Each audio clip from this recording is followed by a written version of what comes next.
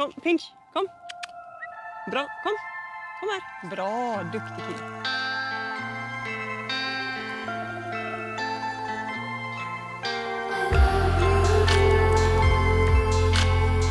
Det här är Pinch, min nya kompis. Min nya äventyrskamrat och livskamrat. Eh, han är en kastrerad hane på ett och ett halvt år, tror man.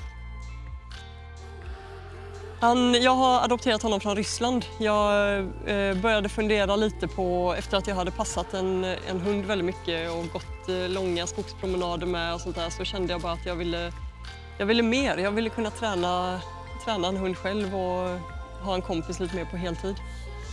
Så eh, jag började googla lite på olika sätt att adoptera en hund och så kom jag över en organisation som heter Take Me Home Rescue Dogs.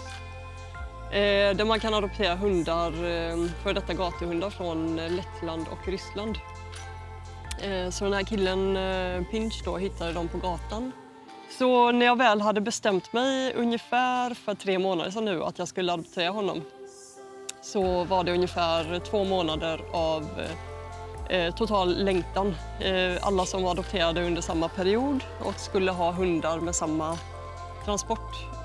Så i vilket fall som helst åkte jag och min kompis eh, Manne upp till Norrtälje för att hämta, hämta honom. Eh, då var det så att var, alla vi som skulle hämta hundar stod eh, runt omkring den här lastbilen och de ropade upp hundarna en i taget. Och så när de ropade upp Pinch så blev det så, då blev det så verkligt för mig att jag åker härifrån med en ny kamrat liksom, som ska vara med mig. Vi har haft eh, tre veckor ihop eh, av eh, total kaos, total förändring.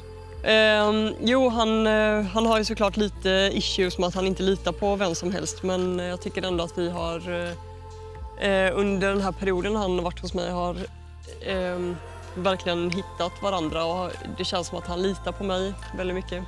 Jag skulle verkligen rekommendera om man, det man ska tänka på när man eh, eh, adopterar en hund, speciellt en för detta gatuhund, det är att man kommer antagligen få lägga ganska mycket tid på att träna bort ofrivilliga beteenden.